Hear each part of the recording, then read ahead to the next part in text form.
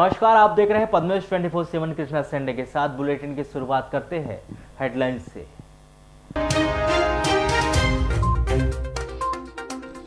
कुतुरना गाँव में ट्रैक्टर की चपेट में आने से छात्रा की मौत पर उपजा विवाद, छावनी में बदला गाँव, साढ़े छह घंटे बाद घटनास्थल से उठाया गया शव।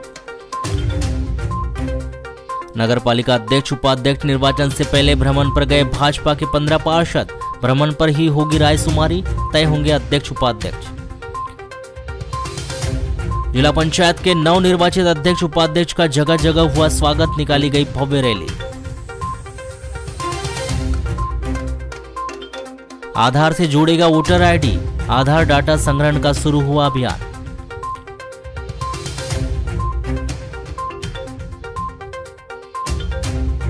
ज़िले भर में तीसरे सावन सोमवार के अवसर पर निकाली गई कावड़ यात्रा, भोलेनाथ का किया गया जलाभिषेक।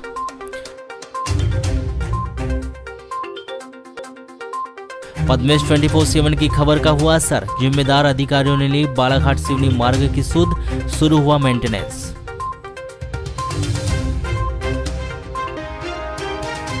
बालाघाट नगर के समीप वारासिवनी रोड रेलवे क्रॉसिंग के पास मोटरसाइकिल को सामने से आ रही स्विफ्ट डिज़ायर कार ने टक्कर मार दी। इकतीस जुलाई की रात्रि करीब 9 बजे हुई इस दुर्घटना में मोटरसाइकिल में सवार दो व्यक्ति घायल हो गए। घायल दोनों व्यक्ति मनोज अड़मे उम्र 34 वर्ष, ग्राम कायदी थाना वारासिवनी और यासिन शाह उम्र 45 वर्ष, ग्राम चांगुटोला, हाल ग्राम गर्रा थाना वारासिवनी निवासी है, जिन्हें जिला अस्पताल बालाघाट में भर्ती किया गया है। कोतवाली पुलिस ने स्विफ्ट डिज़ायर कार के चालक के विरुद्ध अपराध दर्ज कर विवेचना शुरू की है। जय स्तंभ चौक के पास यासिन ने मनोज अड़मे को रोककर ग्राम गर्रा तक चलने के लिए लिफ्ट मांगा। मनोज अड़मे यासिन को अपनी मोटरसाइकिल में बिठाकर दोनों जा रहे थे। वारासिवनी रोड पर वन परिक्षेत्र कार्यालय रेलवे क्रॉसिंग के पास वारासिवनी की ओर से आ रही तेज रफ्तार कार ने मोटरसाइकिल को टक्कर मार दिया। स्विफ्ट डिज़ायर कार की ठोकर से मोटरसाइकिल में सवार मनोज अड़मे और यासिन दोनों मोटरसाइकिल सहित गिरने से घायल हो गए। कोतवाली पुलिस ने मनोज अड़मे की रिपोर्ट पर Swift Dzire car C G zero four M Q उनसत्तर इकहत्तर के चालक सुनील यादव ग्राम अजगरा निवासी के विरुद्ध धारा दो सौ उनस्सी तीन सौ सैंतीस भारतीय दंड विधान, एक सौ चौरासी मोटर व्हीकल एक्ट के तहत अपराध दर्ज कर विवेचना शुरू की है।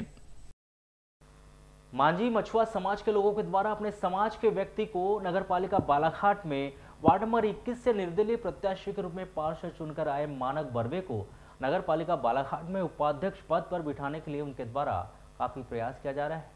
सोमवार को मांझी मछुआ समाज संगठन के लोग सर्किट हाउस पहुँचे, जहाँ उनके द्वारा बालाघाट विधायक गौरीशंकर बिसेन से मुलाकात कर मानक बर्वे को उपाध्यक्ष पद पर पदासीन करने आवश्यक प्रयास किए जाने की मांग की।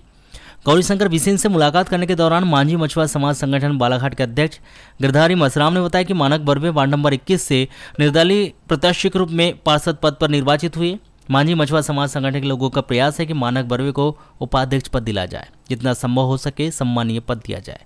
ऐसा है कि हमारे नगर पालिका में वार्ड क्रमांक इक्कीस से मानक बर्बी जी निर्दलीय सदस्य निर्वाचित हुए हैं और हम सभी माझी मछुआ संगठन के 50 से 100 लोग के बीच में आए हैं, सभी इधर उधर और हैं। सभी का प्रयास ये है कि मानक बर्वे जी को उपाध्यक्ष का पद दिया जाए। यदि न संभव हो सके तो एक सम्मानीय पद दिया बालाघाट विधायक गौरीशंकर बिस्से ने बताया कि अभी मांझी मछुआ समाज के लोगों के द्वारा मुलाकात की गई है। इससे पहले अन्य समाजों के लोग भी उनसे मुलाकात कर अपनी बात को रख चुके हैं। अपनी बातें रखने का सबको अधिकार है। संगठन इस पर विचार करेगा और इस पर निर्णय लेगा। हमारे केवट और माझी समाज के लोग आए इसके पहले अनेक समाज के लोग आ चुके जितने बालाघाट में समाज के लोग हैं वे उनके सहयोगी समाज के साथ मिल करके आए। हमारे यहाँ बड़ी तादाद में पवन समाज है, मराठ समाज है, लोधी समाज है, अनुसूचित जाति के लोग हैं, अनुसूचित जनजाति के लोग हैं, अनन्य समाज है, हमारे सामान्य समाज के भी लोग हैं। तो अपनी बात रखने का सबको अधिकार है। भरवेली थाना क्षेत्र के अंतर्गत आने वाले ग्राम मानेगांव में एक व्यक्ति ने चाचा भतीजे को लोहे की राड से मारपीट कर घायल कर दिया। दोनों घायल, सूरज कावरे उम्र 45 वर्ष और उसके भतीजे संजय पाचे उम्र 26 वर्ष दोनों ग्राम मानेगांव भरवेली निवासी को जिला अस्पताल बालाघाट में भर्ती किया गया है। इकतीस जुलाई की शाम करीब साढ़े सात बजे जब संजय अपने घर में ही था, उसी समय घर के बाजू में उसके चाचा सूरज कावरे और सोनू पाचे के बीच झगड़ा हो रहा था। झगड़ा सुनकर संजय पाचे बीच बचाव करने गया। तब सोनू पाचे ने सूरज कावरे और संजय पाचे को लोहे की राड से उनके सिर पर मारकर घायल कर दिया। मोहल्ले वालों ने बीच बचाव किया। उसके बाद दोनों चाचा भतीजे अपना इलाज करवाने के लिए जिला अस्पताल पहुँचे। जिला पंचायत अध्यक्ष पद पर सम्राट सरस्वार और उपाध्यक्ष पद पर राजा लिल्लारे के निर्वाचित होते ही कांग्रेस के पदाधिकारी, कार्यकर्ताओं और समर्थकों में भारी हर्ष व्याप्त हो गया। जिसके चलते समर्थकों के द्वारा क्षेत्र में दोनों ही पदाधिकारियों का जमकर स्वागत किया जा रहा है।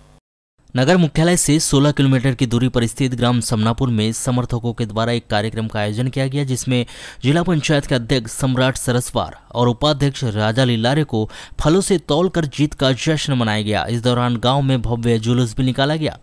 इस प्रकार ग्राम आमगांव, धापेवाड़ा बड़ी कुमारी छोटी कुमारी खैरी व भटेरा में भी कार्यक्रम आयोजित कर क्षेत्रवासी जनता के द्वारा दोनों ही पदाधिकारियों का सम्मान किया गया। जिला पंचायत अध्यक्ष पद पर निर्वाचित हुए सम्राट सिंह सरस्वार ने कार्यक्रम को संबोधित करते हुए कहा कि राजा लीलारे जो इस क्षेत्र से जीते हैं, यह आप लोगों की जीत है। समनापुर में आज आप लोगों के बीच में मुझे आने का मौका, जवाई के कारण।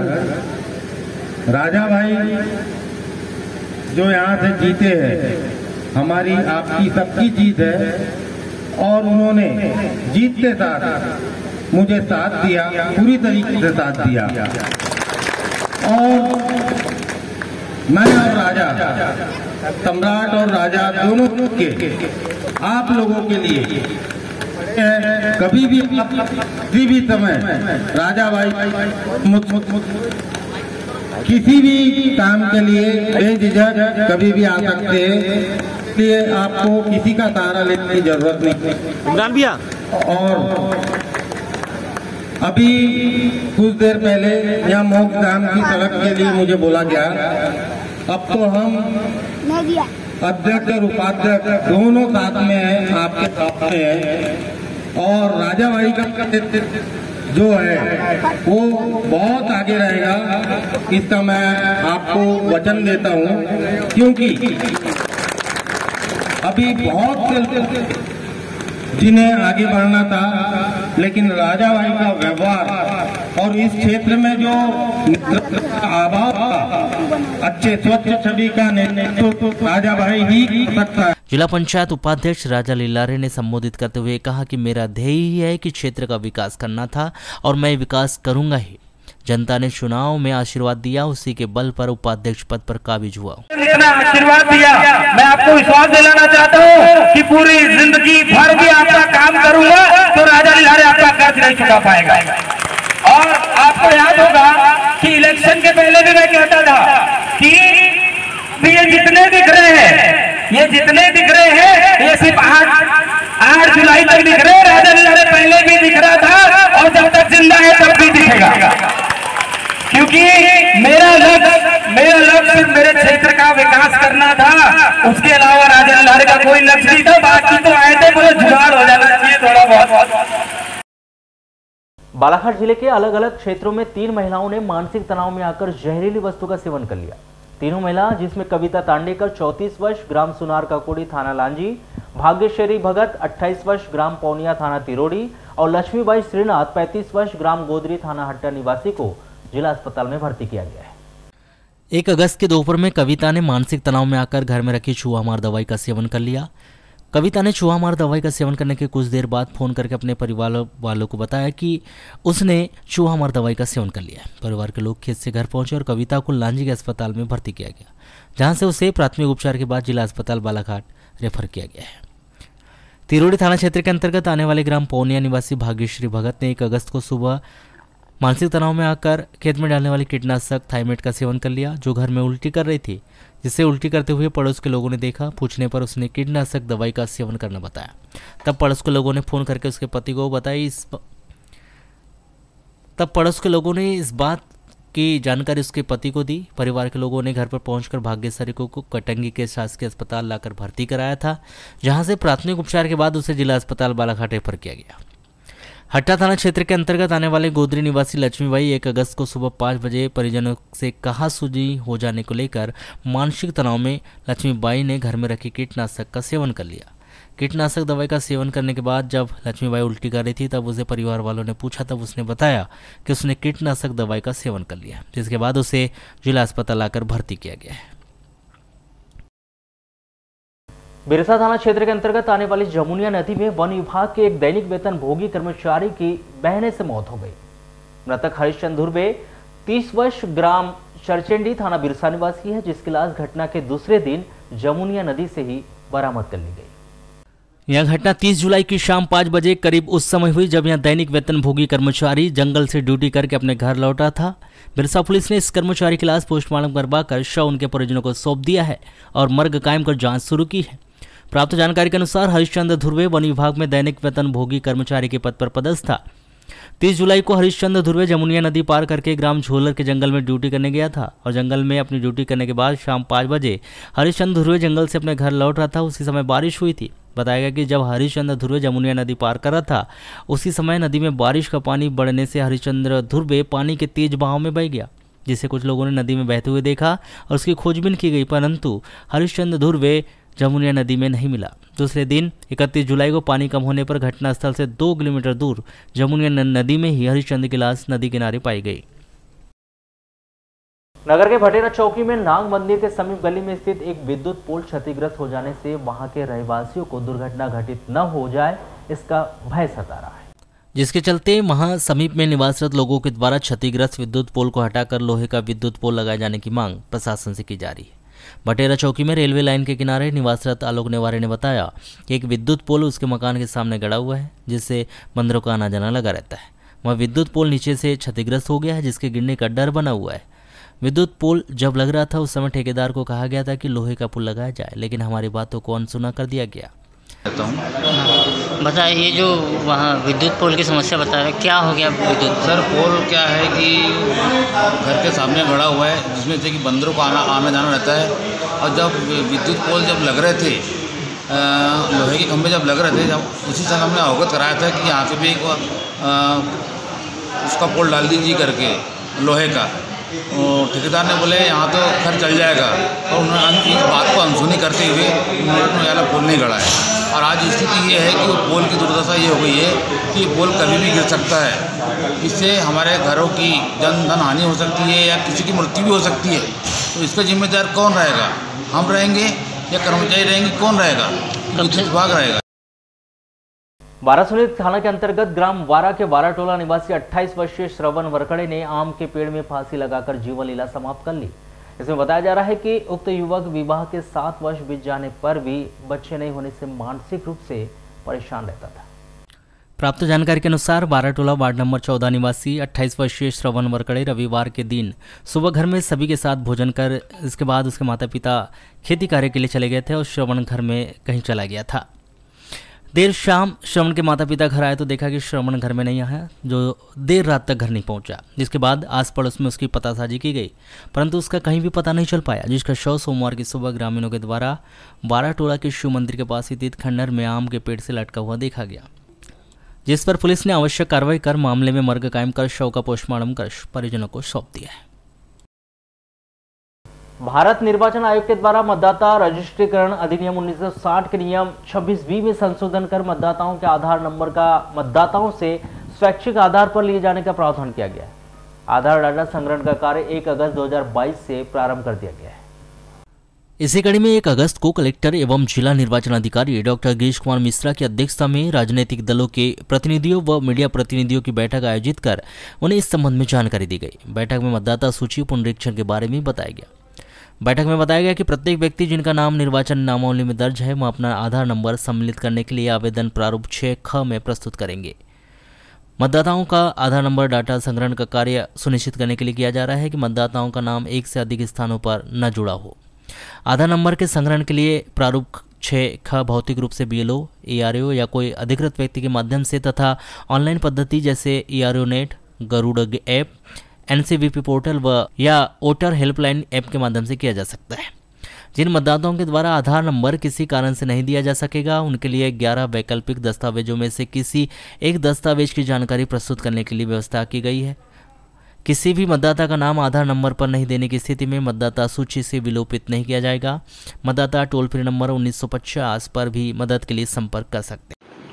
पोर्टल, जैसे मैंने कहा कि पोर्टल जो हमें बताता एरर्स वो तो हम रेक्टिफाई कर रहे हैं अब हमारे पास कोई ऐसी मैकेनिज्म नहीं कि रामलाल का नाम जो है फलानी पंचायत में भी है और यहाँ भी है। इसको टैली करने का जब तक हमारे पास ऑनलाइन कोई मैकेनिज्म नहीं है। आधार सीडिंग उसको लेकर के एक अच्छा विकल्प है, जिसके दिशा में आयोग आगे बढ़ रहा है। तो निश्चित तौर पे आधार एक बार जैसे मेरा ही आधार आज लिंक हुआ तो मेरा और कहीं नाम जुड़ा होगा तो निश्चित तौर पर रिफ्लेक्ट करेगा। तो उसकी दिशा में एक अच्छा विकल्प है। पोर्टल पे जो एंट्रिया एरर्स हमको दिखते हैं वो हम साल भर रेक्टिफाई करते हैं।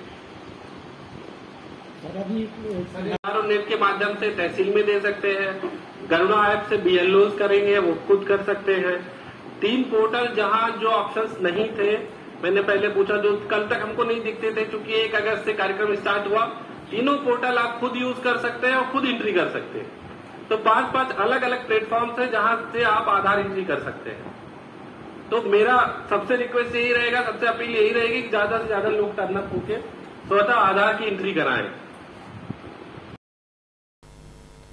राज्य निर्वाचन आयोग के द्वारा दो दिन पहले ही नगरपालिका अध्यक्ष निर्वाचन की तारीख तय करने के बाद से बालाघाट नगरपालिका के भीतर अध्यक्ष, उपाध्यक्ष निर्वाचन को लेकर सरगर्मियाँ तेज हो चुकी है। इन सब बातों को देखते हुए भारतीय जनता पार्टी द्वारा अपने निर्वाचित पार्षदों को भोपाल, उज्जैन, इंदौर, मांडू के लिए सोमवार को दोपहर लगभग डेढ़ बजे रवाना हो गए हैं। हालाँकि इस दौरान भारतीय जनता पार्टी के सभी 18 निर्वाचित पार्षद टूर पर नहीं जा पाए। अंतिम समय में बस में 15 पार्षद ही सवार होकर रवाना हुए। जानकारी लेने पर पता चला कि वार्ड नंबर 33 के पार्षद योगेश बिसेन एक दिन पहले ही उज्जैन रवाना हो चुके हैं। आपको बताएँ कि वार्ड नंबर 20 के पार्षद वीना वर्मा स्वास्थ्य संबंधित कारणों की वजह से और वार्ड नंबर 15 के पार्षद समीर जायसवाल पारिवारिक कारणों की वजह से टूर पर नहीं गए। इससे पहले सोमवार की सुबह अचानक यह खबर सामने आई कि भारतीय जनता पार्टी द्वारा अपने सभी पार्षदों को धार्मिक स्थलों के दर्शन के लिए ले जाया जा रहा है। यह चर्चा तेज़ी के साथ फैल गई और इसकी चर्चा व्याप्त हो गई। आपको बताएँ कि भारतीय जनता पार्टी समर्थित नगर पालिका बालाघाट में जितने भी निर्वाचित पार्षद हैं, उन सभी पार्षदों को मौसम हरिणखेड़े के नेतृत्व में उनके साथ धार्मिक स्थलों के दर्शन एवं मुख्यमंत्री शिवराज सिंह चौहान का आशीर्वाद प्राप्त करने ले जाया गया है। पार्षदों का यह दल सोमवार को दोपहर करीब डेढ़ बजे जिला भाजपा कार्यालय से रवाना हुआ।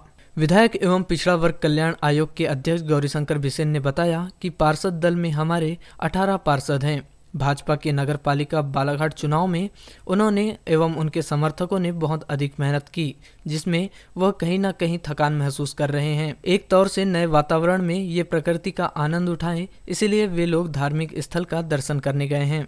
ओमकारेश्वर महाकाल मांडू के दर्शन करेंगे तथा उन्होंने मुख्यमंत्री का आशीर्वाद लेने का कार्यक्रम भी बनाया है। मौसम हरिणखेड़े के नेतृत्व में उनके साथ सभी पार्षद गए हैं जो सात तारीख को होने वाले मतदान के पूर्व बालाघाट आ जाएँगे। पूरे पार्षद भोपाल रवाना हुए पार्षद दल जिसमें हमारे अट्ठाईस अठारह पार्षद हैं बीजेपी के बालाघाट नगर पालिका परिषद। के चुनाव में बहुत उन्होंने मेहनत की उनके समर्थकों ने मेहनत किया। तो बहुत उनको इस बात को लेकर के प्रसन्नता भी है, जो थकान हुई है, उसको दूर करना आवश्यक एक तौर से नए वातावरण में रहे, प्रकृति के आनंद का आनंद उठाए। इसलिए वे लोग हमारे धार्मिक स्थल के दर्शकों में उन्होंने अपना कार्यक्रम बनाया होगा, ओंकारेश्वर जा रहे होंगे, महेश्वर जा रहे होंगे, महाकाल जा रहे होंगे, मांडू जा रहे होंगे, और अपने माननीय मुख्यमंत्री से आशीर्वाद भी लेने जा रहे तो उन्होंने अपना कार्यक्रम बनाया। और हमारी बेटी मौसम के नेतृत्व में उनके साथ उनके चूँकि मतदान हमारे यहाँ सात तारीख को तो सात तारीख के पूर्व वहाँ अपना परिक्रमा करके आ जाएँगे और भगवान भोलेनाथ से आशीर्वाद लेंगे। श्री बिसेन ने कहा कि नगरपालिका अध्यक्ष पद के लिए अभी किसी के नाम का चिंतन नहीं किया गया है। सौसर छिंदवाड़ा से पर्यवेक्षक संतोष जैन आएँगे और निर्वाचित पार्षदों से मुलाकात कर उनके विचार जानेंगे। फिर वे अपना अभिमत संगठन के सामने रखेंगे। चिंतन की होंगी पार्टी ने कोई नाम पर चिंतन नहीं किए माननीय पर्यवेक्षक जी हमारे संतोष जैन साहब आएँगे। वो हमारे निर्वाचित पार्षदों से परामर्श करेंगे उनके विचार जानेंगे। और उसके बाद में जो अभिमत आएगा तदनुसार अध्यक्ष का उम्मीदवार। कब तक आ जाएँगे पर्यवेक्षक जी तो ऐसे आज जाने वाले हैं। तो आज संगठन के लोगों से शायद मिलेंगे हमारे जिलाध्यक्ष से मिलेंगे। और या तो फ़ोन पे बात कर लेंगे तो उनको सूचना है कि आज से भी पार्षद महाकाल की ओर जाएँगे टूर पर रवाना होने से पहले वार्ड नंबर 14 की पार्षद वन्ना बारमाटे ने पद्मेश 24/7 से चर्चा के दौरान बताया कि वे तीसरी बार पार्षद के रूप में निर्वाचित होकर नगरपालिका पहुँची है। वे एक बार अल्प समय के लिए नगरपालिका अध्यक्ष का कार्यकाल भी संभाल चुकी है। इसके साथ ही भारतीय जनता पार्टी में अलग अलग वरिष्ठ पदों पर कार्य करने का अच्छा अनुभव है। अनुभव के आधार पर पार्टी के द्वारा उन्हें ही अध्यक्ष निर्वाचित किया जाना चाहिए।